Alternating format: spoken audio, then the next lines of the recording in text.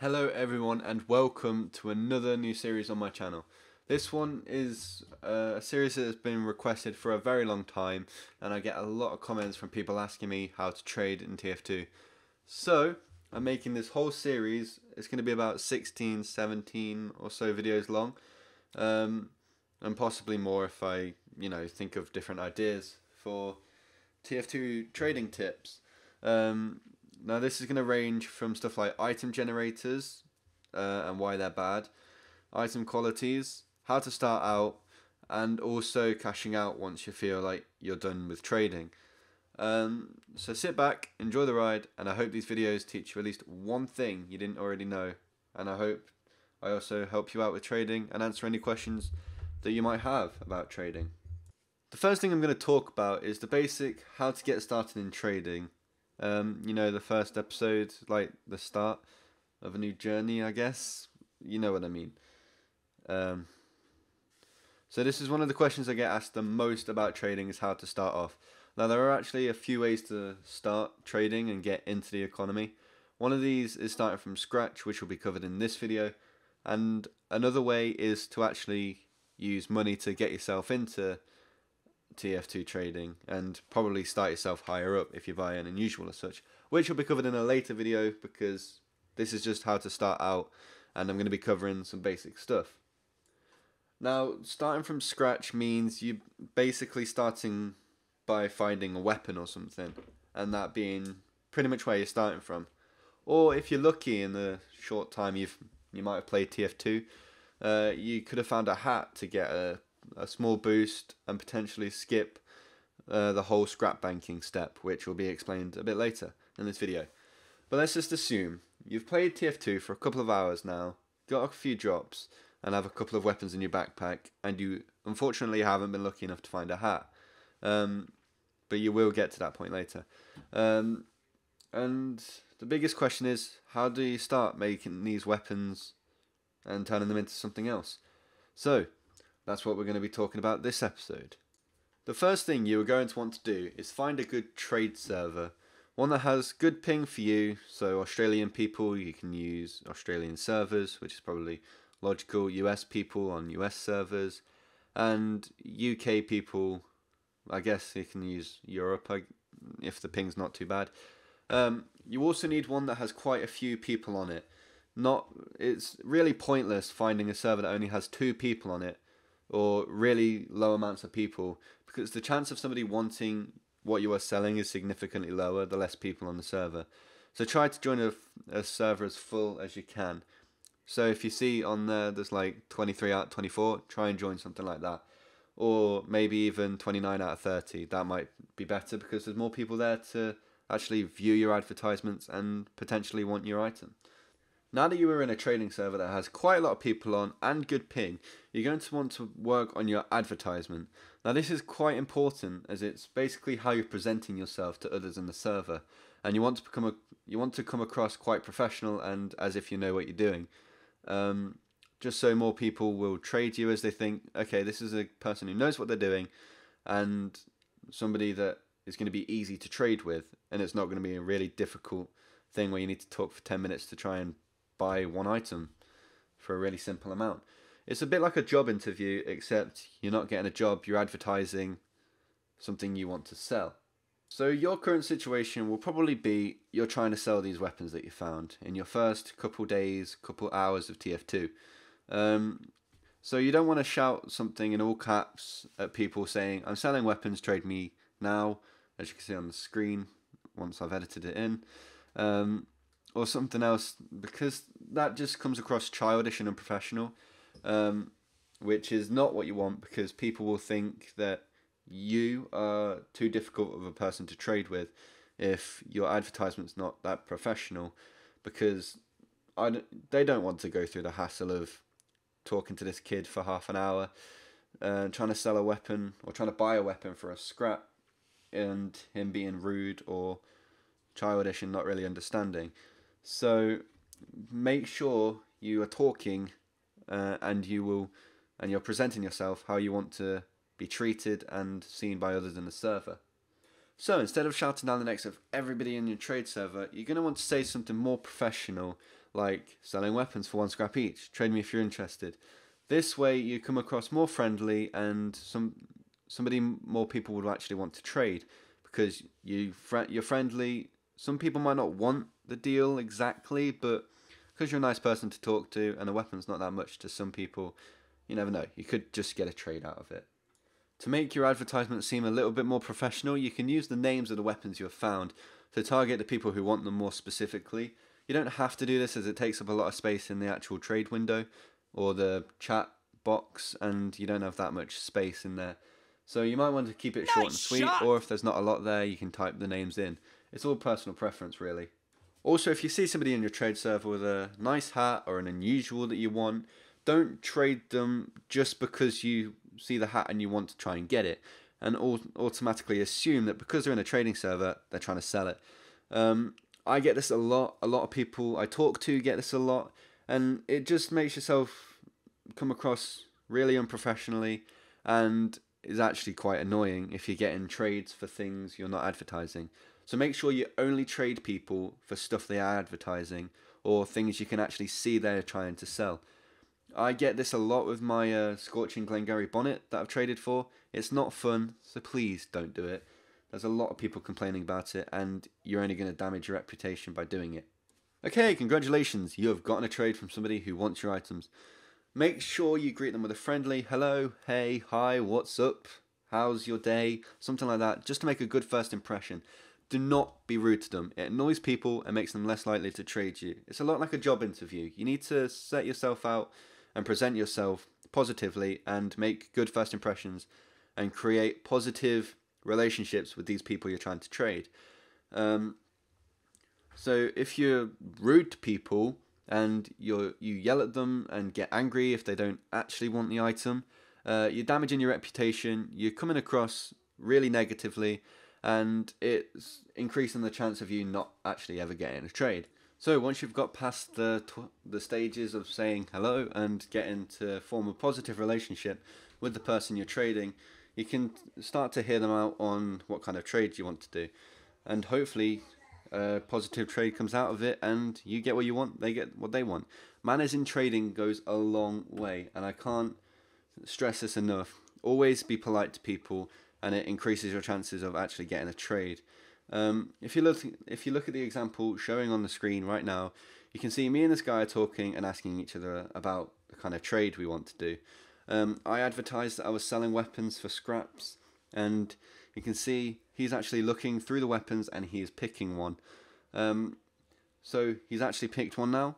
Once he's picked it, you take the rest of the items out and wait for them to put in the items that you want. Um, make sure you don't overprice these items, else it really damages the relationship between you and that person and makes them less likely to actually go through with the trade. Since you mostly all have weapons, if you're actually watching this part of the video, um, make sure you're trying to sell them for a scrap each. Or, if they don't have a scrap, that's completely fine. You can sell it for two weapons, which means you've profited a weapon, just like it would be if you've traded for a scrap. If somebody doesn't accept your deal, do not rage at them. Do not get angry and cuss at them if they don't accept. It's their choice if they take your offer or not. As in, it's their items, they can do what they want with them. Another rule you should follow, and you definitely should follow, is making sure you sell items for a fair price. If you overprice your items, especially weapons, people will not buy them. Only unusuals and high, well, unusuals to high tier unusuals sell for over their suggested price on backpack.tf. So at least try and stick near these price ranges if you want to get pretty quick trades. Also, if you want to check the price of some items, backpack.tf is a good site to use. However, once you get to the unusuals, it's not the best place to look as unusuals are harder to price and they range more depending on who has them at the, that time. Also, you don't need to use trading servers to get these trades. TF2Outpost.com is a really good resource for getting these trades and actually really helps you when you have higher valued items. Also, I found that Outpost is better for selling weapons as more people can see it and search for a, a specific weapon, and your trade will pop up. All you have to do to start on TF2 Outpost is sign in, and then you can create trades based on your backpack. Make sure your backpack is public and your profile is public as well. else you're not allowed to trade on Outpost. And also, people trust you a lot less if your profile and your backpack are private, as it comes across as you're a shifty character and you're more of somebody who scams people, and that's not what you want to be seen as. But please don't just rely on Outpost or just rely on trading servers. Um, it's a lot better to kind of mix them together, trying to sell items on trading servers and on Outpost at the same time. Um, that just speeds up the whole process and will cause you a lot less frustration if an item doesn't sell because there's a lot more people actually potentially looking at your offers. Okay, so you've sold that weapon for a scrap. Um, you're now going to want to do something called scrap banking, where you buy two more weapons with that one scrap, which means you've just profited one weapon and doubled what you've started with. This method of trading, unfortunately, is really slow, but it all adds up eventually once you build up to a couple of ref, and you can move on to something a lot faster and less brain numbing. Um, scrap banking not, is not always really slow. It depends on who's on the server at the same time as you, and what kind of servers you're actually playing on. Unusual servers won't get you these trades, and normal trade servers have a better chance of actually getting you these trades. So make sure you keep swapping servers to advertise to different people, as then there's more of a chance of getting that one person who wants to do a trade with you. So once you've actually bought these two more weapons with that one scrap, you're going to want to sell them on for a scrap each, which leaves you with two scrap. Well, hey look, you've you've just profited another scrap. You've made even more profit and it's probably gone a little bit quicker. So make sure you keep doing this until you've got a couple of refined. If you don't know what a refined is, you can look on the screen right now and there will be a picture of it. So make sure you try and get at least one of those before moving on to the next step. Okay, so now that you've got at least one refined metal in your backpack, you can go on to buying craft hats and selling those on for profit. Back to trading servers slash outpost you go, um, you know, wherever you prefer. This time your advert is going to look something more like this. Buying craft hats for 1 slash 1.11 ref. Now, this price here at the end, this 1 slash 1.11 ref, this is the price that you choose. 1.11 ref is generally easier to get trades, but you make less profit. 1 ref is going to take longer, but you get slightly more profit. You can obviously change this message to make it more personal to you, but this is like this is how I like to lay it out. It's all personal preference. Also, if you don't really understand what this 1.11 like decimal is, uh, one ref is one, obviously, and one scrap is 0.11. Uh, three scrap makes a reclaimed metal, which is 0.33, and you need three reclaimed metal to craft a one refined metal. So you go all the way up to 0.88, and then you go to 1, so you skip 0.99 because you're pretty much there. Um, so it's it's just um, it just means how much metal you actually need to give. So 1.11 is one ref and one scrap. So just in case you didn't know that. Okay, so once you are in these trades for hats, you're going to want to make sure they are craftable. What this means is that they that a hat can be used to craft other things. The way you can tell if a hat is craftable or not is only when it's not craftable. There will be a little sentence thing in the description of that hat when you hover over it saying this item is unusable and unusable in crafting, which means it's dirty, which is a word that traders use to describe hats that aren't craftable. And if there's not that let or there's not that little sentence there, it means it's clean slash craftable, and that's the one you want to buy. Then you can sell it for zero or for 1.33 slash whatever the backpack.tf prices, or you can sell it to scrap.tf for whatever they offer for craft hats nowadays. Um, scrap.tf may pay more, may pay less. It all depends on what they've decided to start paying when you're trading. Um, then you just keep repeating this process, and you should get to keys um, quite quickly. It's going to take a while. It doesn't happen instantly, but, but trading is a patience game. Um, so if you don't have patience, it's quite pointless trying to trade, else you'll just get angry. You'll get annoyed at people, which will make trades take even longer to get. And it's all just a massive chain of events that, you know, just leads to more anger. So make sure you are patient. However, if you were lucky enough um, at the start of the video and you found a hat, um, you could just skip to the hat banking stage, sell off the hat for whatever it is on backpack.tf. Make sure you check that before you do this trade, else it could be quite an expensive hat and you could sell it for a lot less, which will mean you make less profit. Um, make sure you sell it within reason, obviously. If it's 1.33, you're probably not going to get much more than that for it. Um, but yeah, once you've sold that hat, then you can do the previous step and buy hats for 1 slash 1.11 refined, which means you've just skipped the whole tedious process of scrap banking. Lucky you. Alright, so this is all I have time for for now. Thanks for watching this video. In the next one, I will talk about trading when you reach key levels, and I would have put that in the video, but I mean, this video is nearly 16, 17 minutes long, and I want these to kind of be shorter videos, but with more information in them, um, to help you out on very specific areas of trading. And since there's a lot more to key trading, it kind of deserves its own video as well as there is a lot more to cover. Also, stay tuned for the rest of the series as I hope it will start to bring a lot of information that is really useful for you to know when you start to trade in TF2.